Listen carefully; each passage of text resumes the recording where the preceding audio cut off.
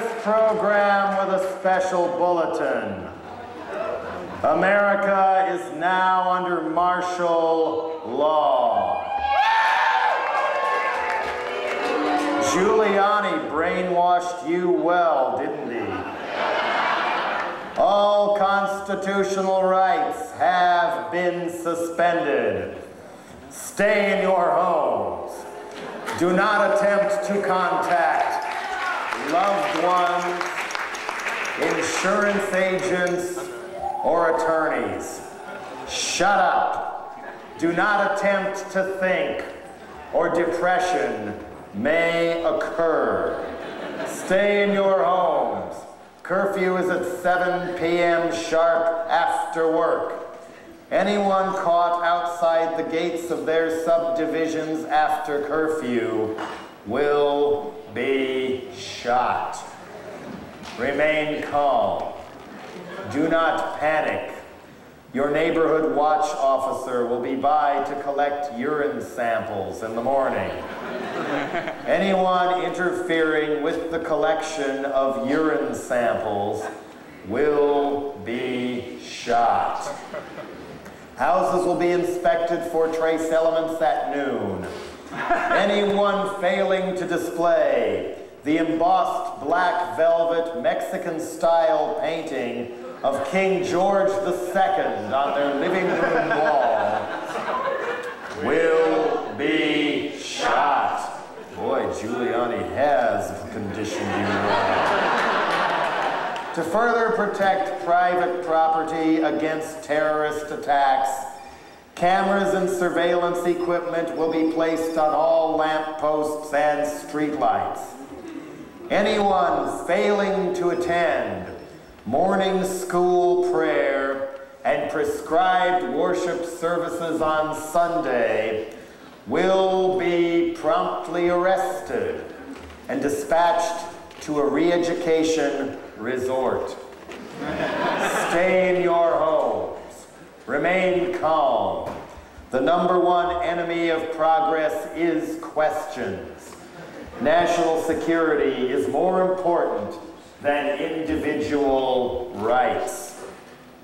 Under the provisions of the Drug War, Zero Tolerance, and the Child Protection and Obscenity Enforcement Act, all property and life savings of suspected drug users and suspected pornographers will be seized and sold prior to trial.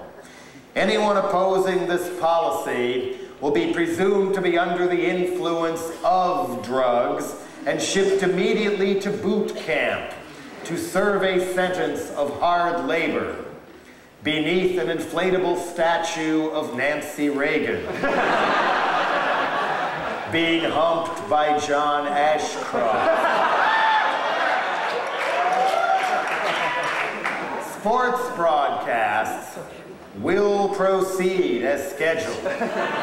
No more than two people may gather anywhere without permission. Use only the drugs prescribed by your coach your boss, or your supervisor. Shut up. Be happy. Obey all orders without question. Shut up. The comfort you've demanded is now mandatory. At last, everything is done for you.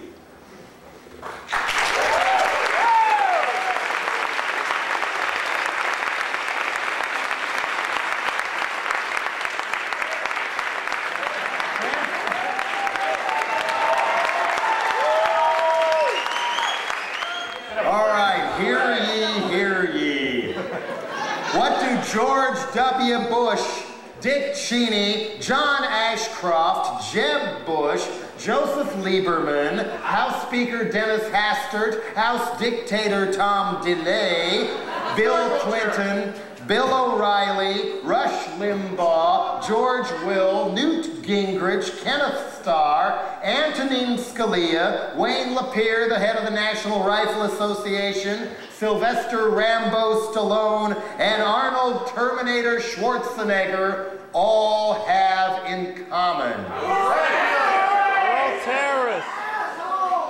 Everybody says that every show. and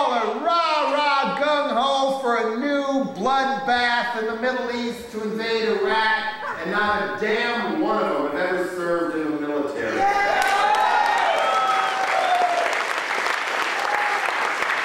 But I get equally frightened when somebody like Bush comes right out and says, You're either with us or with the terrorists. some choice, right?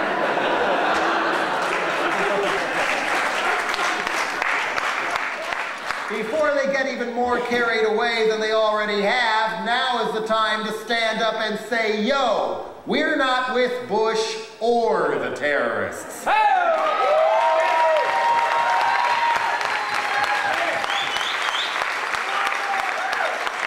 In 1991, Jimmy Carter publicly warned the last George Bush that his Gulf War would set back peace and Middle Eastern relations at least 20 years.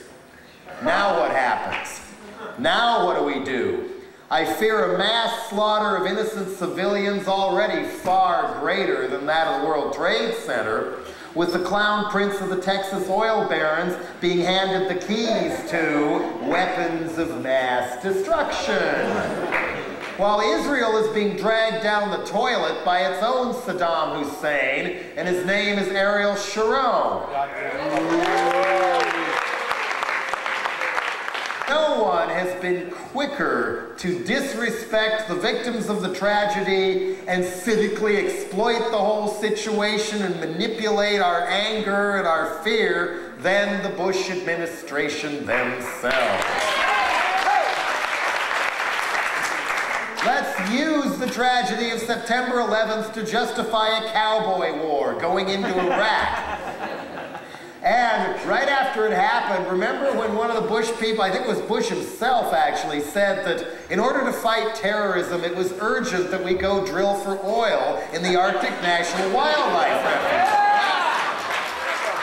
We'll show them. Even though that oil, when they were talking about it during the campaign in 2000, it turned out it was earmarked for sale to China. And Bush said, oh yeah, Congress got into the act when they ordered, immediately ordered up 100 more multi-gazillion dollar tanker jets from Boeing, even though the Air Force said they didn't need them. And Bush said to fight terrorism was the justification for getting Congress, and they did roll over like little puppy dogs and give him so-called fast track authority to negotiate more evil trade agreements than the fine tradition of NAFTA and the GATT Treaty, General Agreement on Trade and Tariffs, the one that gave us your friend and mine, the WTO. I hear a cell phone. Turn them off now because the next one, I expect people to be vigilant, patriotic Americans. And if it's next to you, grab it and give it to me. Anyway, they wanted fast track authority to negotiate the free trade agreement of the Americas, which is kind of like NAFTA on crack. And it would extend not just to like NAFTA's only Canada, America, Mexico, and you know it's basically corporations uber alles. You can't worry about environmental degradation or exporting jobs to sweatshops and other places. Why not? And it hasn't helped the Mexican economy any either, by the way, as our genetically mutilated frankencorn goes down there by the dump truck a price so cheap the peasant farmers can't sell their own, so they're abandoning their ancestral homes and living homeless in the squats in Mexico City and Guadalajara and the rest. Anyway, they think that would be a great idea for the whole rest of the hemisphere. North America, South America, Central America, Caribbean. Only Castro escapes on this one. Only they want to give it even nastier teeth, whereby corporations can shake down other countries for sanctions or blood money for such things as failure to privatize their water supply, failure to privatize their schools, failure to let somebody like Clear Channel take over all their radio stations, or uh, Rupert Murdoch, owner of the New York Post, take over all of the media or whatever. Under NAFTA, UPS, United Parcel Service, is suing Mexico, or excuse me, suing Canada under NAFTA for interfering with their profits by having their own postal service. yeah, next time you UPS anything, think of that too. And that's what they want to open the floodgates for all up and down North and South America. Wonderful. And anybody who attacks this or takes issue with it and fights what is now called globalization, although I would call it uh, corporate coup or corporate feudalism or whatever, not capitalism, feudalism. They are demonized as helping the terrorists in the Wall Street Journal a couple times, and Silvio Berlusconi, the Prime Minister of Italy, even came out and said that the people protesting in Seattle and then in Geneva and Italy later on caused the towers to go down.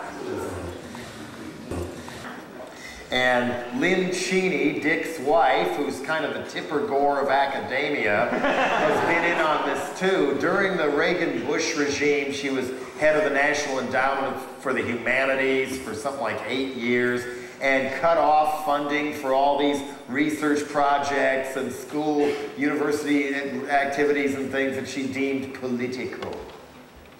But if it was researching germ bombs or something that would benefit corporations or genetically mutilate the frankenfood or whatever, then it was patriotically correct, therefore it was okay. And now she and Senator Joseph Lieberman, among others, are part of the American Council of Trustees and Alumni, who issued a report after September 11th saying that the weakest link in our fight against terrorism was college professors. Again? Listing 117 what they called unpatriotic acts, people who were the weakest link for saying, and they said they didn't just want to give them demerits, they wanted them fired for things as small as a University of Oregon instructor saying that, oh, we have to understand people in the Middle East's reasons for hatred over there. That was all he said. The scary part is they have a lot of power because they sit on $3 billion worth of grant money every year. Then we have your friend and mine, John Ashcroft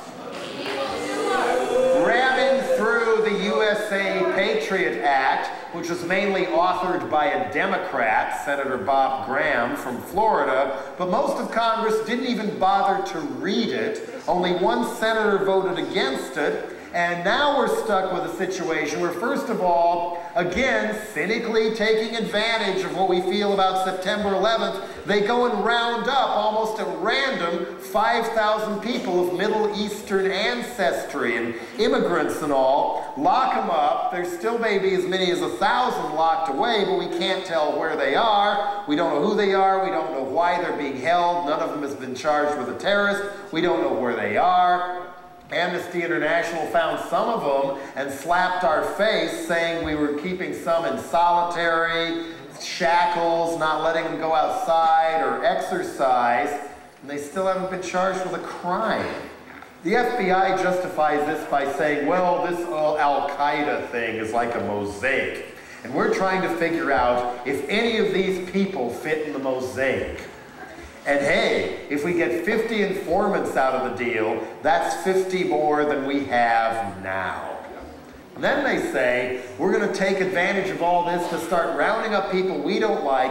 Anybody a Bush administration official declares to be a suspected terrorist and ex try them before military tribunals in other people's countries and then if the tribunal votes, however narrowly, to execute them on the spot with no appeal or anything, they get executed on the spot. And we've also decided the Geneva Convention doesn't apply to us, and we can abduct people out of Afghanistan or wherever and lock them in human-sized rat cages out of the sun in Guantanamo Bay. They're building a new prison there now for all the other people we intend to kidnap in years to come, and guess who got the contract to do it?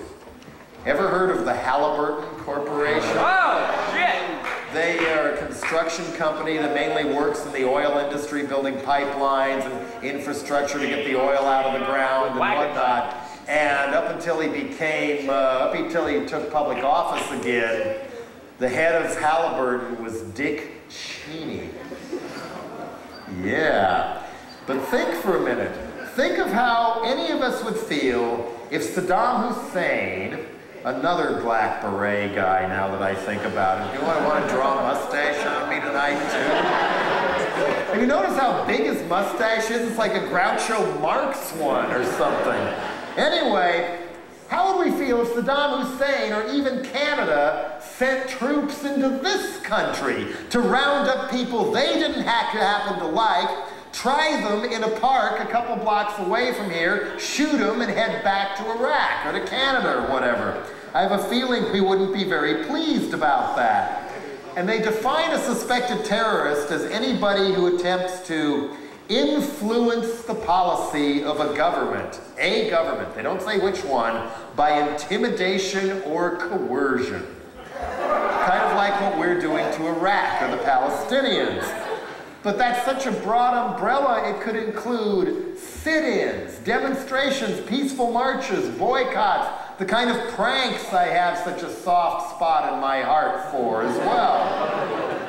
Patriot Act also says that now the FBI, I wonder if Hillary Clinton voted for it, I'll bet she did. it takes a village to R-A-Z-E a child after In that Patriot Act, it says that the FBI can come into any of our homes anytime they want without a warrant, search the whole thing, go through files, go through business records, go through your computers, put a little cookie in there if they want to, and not even tell you they've been there. But if you find that they have and you tell somebody else, you can go to jail for that too. And Ash Crack has also has also said that it's time for the for the Justice Department, Department once again to get serious about infiltrating political organizations, even churches, and bring back maybe some of that program the FBI had that they never officially abolished called COINTELPRO. Shit. You've heard of that. The one where they tried to sabotage Students for a Democratic Society and other anti-war groups and assassinated Black Panther leaders, killed American Indian movement leaders, killed Puerto Rican independence organizers, and later on even tried to kill environmental activists specifically Judi Bari and Darryl Cherney of Earth First, who in 1990, all of a sudden they're driving their car through Oakland, Judi's car, and it blew up. And the FBI magically was on the scene within minutes to charge them with bombing themselves. Even though the car was right under the, the seat on Judi's side, so it literally blew her butt off and she spent the rest of her life in severe pain before dying prematurely of breast cancer a few years ago. Darryl has recovered from the shattered eardrum and the other injuries. But when they say in the corporate media that 85% of Americans support bringing COINTELPRO type stuff back, maybe they ought to take into account that Judi's estate and Darryl Cherney just won a $4 million judgment against the FBI after 12 years.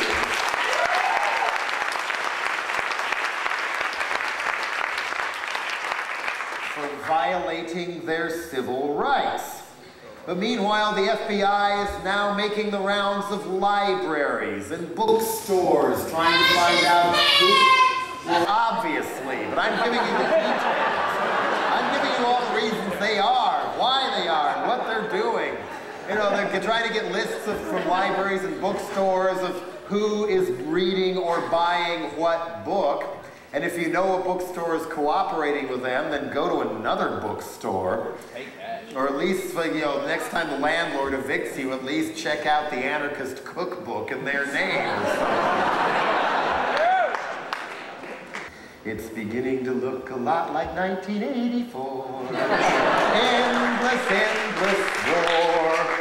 That's what they're trying for. Bush and Cheney and Rumsfeld have all said, well, you better be prepared, America. This war on terrorism, it could take five years, it could take 10 years, it could take our entire lifetime. especially if we can get away with it. And so now we've sent a few troops into Yemen, and there's some more in the Philippines, and we've sent a whole bunch of military advisors, we call them. That was what we called our initial dispatch into Vietnam, too. So it's creepy about it. Sent them into Colombia. We're not even calling it the drug war anymore. We're saying, oh, we're, we're fighting terrorism there. Because even though both the right-wing paramilitary death squads were getting our help through the military aid we give the Colombian army and the leftist insurgents fighting them are all involved in the drug trade, presumably, we're going to side with our drug lords in order to wipe out their drug lords to clear the land back in the jungle of the Andes for oil exploration, where indigenous people aren't very happy about that. And I guess that makes them terrorists or drug lords or whatever. As Noam Chomsky put it, we're not intervening there to stop atrocities, we're intervening to escalate atrocities.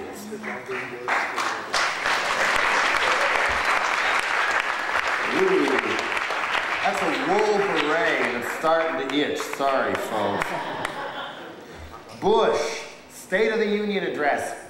Iran, Iraq, and North Korea form an axis of evil. Course, some people say that's Bush, Cheney, Rumsfeld, and Ashcrack, but what, what did we gain with that?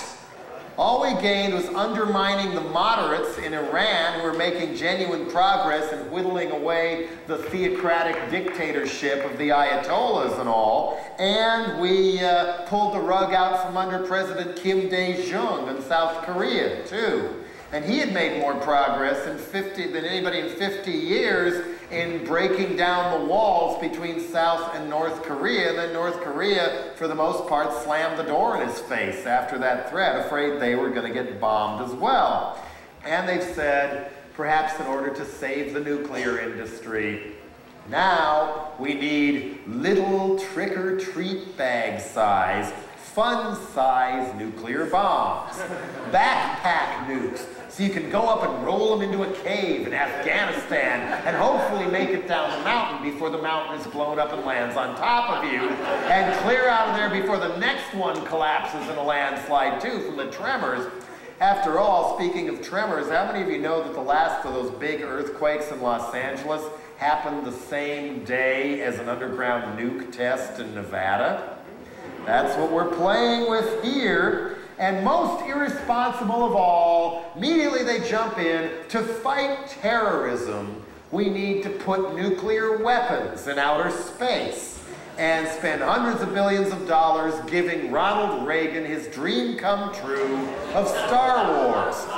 A lot of good those would have done to prevent the planes hitting the towers and the Pentagon. But oh no, we need this so badly that when the warnings were coming in to uh, Condoleezza and Rummy and the rest, according to Time magazine, that Al Qaeda was up to something really scary and we ought to watch out for it, they were like, oh, forget that Osama pipsqueak. Our main goal is to put nukes in space. That's what we should be concentrating on. It's not even a defensive weapon. What else could it be but an offensive weapon? The Pentagon justifies it saying, well, we have to put them in space because we need full spectrum dominance, they call it. Full spectrum dominance. Meaning if a bin Laden or a Hugo Chavez or somebody in a little town in Chile who doesn't like McDonald's gets too uppity against us, you better beware because there's going to be a laser beam coming out of the sky to fry your ass right then and there. But what happens if one of those things malfunctions? what happens if one of those crashes back down to Earth, like many satellites have to do after a while, like the Russian space station Mir did not very long ago? What happens then? And the payload of plutonium blows. And will that potentially scattering enough plutonium particles all over our atmosphere to slowly but surely cause radiation poisoning in almost every living critter left on Earth. But hey, as long as it enriches Rumsfeld's friends, it's worth the risk, I suppose. They've also said, oh, don't worry. If well, something like that should malfunction and nuke Bush and Cheney by mistake, for example, well, there's a shadow government in place as we speak unnamed bureaucrats in unknown locations who must be bored out of their minds by now, ready to step in and run everything should we lose our precious Bush administration. Although maybe the shadow government is something we have, we've had all along, and really they have names like Exxon and Microsoft and Lockheed and General Motors, Walt Disney, Virgin Megastore, etc. There's our shadow government. And in the spirit of international solidarity against terrorism and rogue nations, the Bush administration once again nominated America as the world's number one rogue nation by pulling out of the International Criminal Court that people have worked so long to set up as a mechanism for bringing people like Milosevic and the people supposedly responsible for the genocide in Rwanda and Burundi, for example, finally bring them to justice Eh, eh, eh, not if it's Americans. We're special. Kissinger. They, oh yeah, exactly they're trying to protect. And the Bush family. Oh yes, the Bush family. I also fear for all the people of Middle Eastern descent being subjected to racism and hatred all over the world right now, including here. I was in Tallahassee last spring, and a week before I got there, somebody drove his pickup truck into the front door of the local mosque to show his feelings about immigrants and all. when I was in Edinburgh in Scotland a little less than a year ago, same night, somebody blew, dynamited the main or bombed the main mosque in town. And after September 11th, somebody was opening their gas station on, in Mesa, Arizona, on the edge of Phoenix. First day of business, opens his gas station, pickup truck pulls up and does a drive-by. The guy blows his head off because it had a turban on it, justifying it later, saying he was going to stand, he was standing up for America. And I also fear for what's going to happen to all the veterans of the war on terrorism. And as Michael Moore put it, will we ever get to the point that we realize we will be more secure when the rest of the world isn't living in poverty so we can have nice running shoes? Instead, starting in this very city and spreading like a computer virus, Fight back, America. let, let them know they can't keep us down. Be patriotic. Go shopping. Isn't it our appetite for shopping for more and more stuff at a cheaper and cheaper price, regardless if it was made by slaves in another country, that's creating all the inequality and anger that's breeding terrorism in the first place?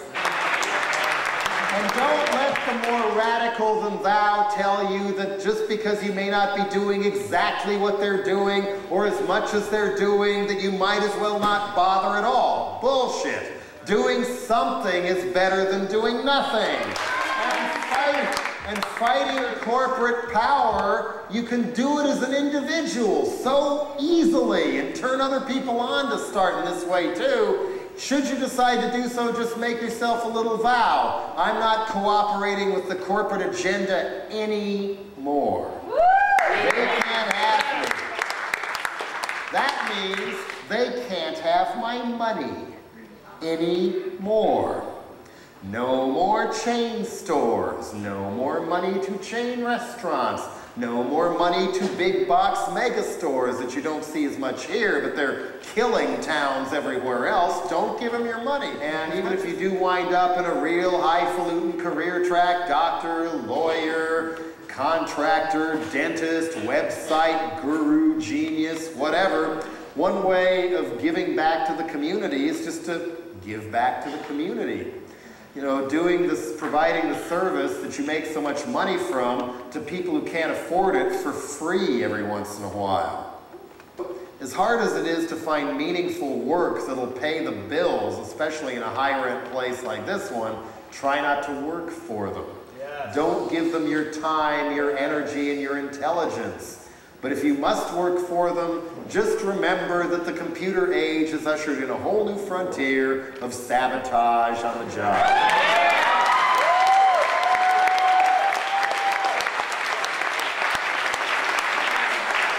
And don't hate the media, become the media.